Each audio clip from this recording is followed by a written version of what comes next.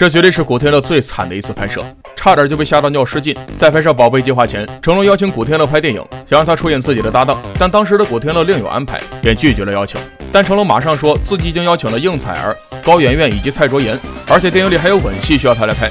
古天乐一听，立马接受了邀请，因为他觉得电影剧情确实不错。可当他来到剧组后，才发现自己上当了，因为成龙说的吻戏并不是和女演员，而是和他接吻。当时在拍巴士找孩子的戏份时，导演觉得这段实在太过平淡。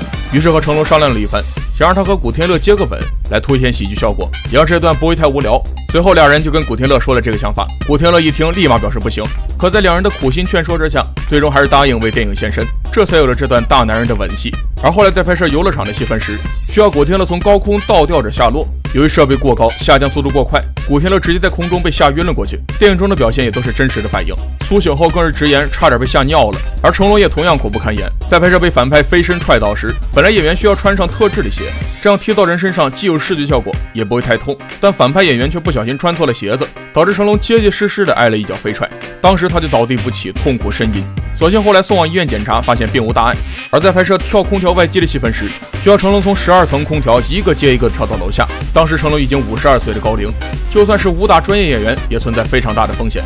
由于是一镜到底的拍摄，如果出现失误，就需要重新再跳一遍。但成龙第一次从楼上跳下来时，元彪却笑场了，导致成龙直接发飙。我一個鏡頭落㗎，大哥，你知唔知好危險啊？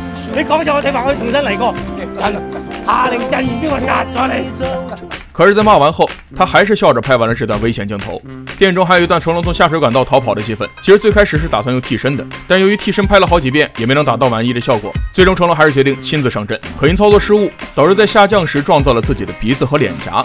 这里原本落地后还需要有两句台词，但因为疼痛的缘故，成龙直接就跑出了画面。虽然两人在拍摄时吃足了苦头，但电影上映后却备受好评，两人都获得了台湾金马奖影帝的称号。那么你喜欢这部电影吗？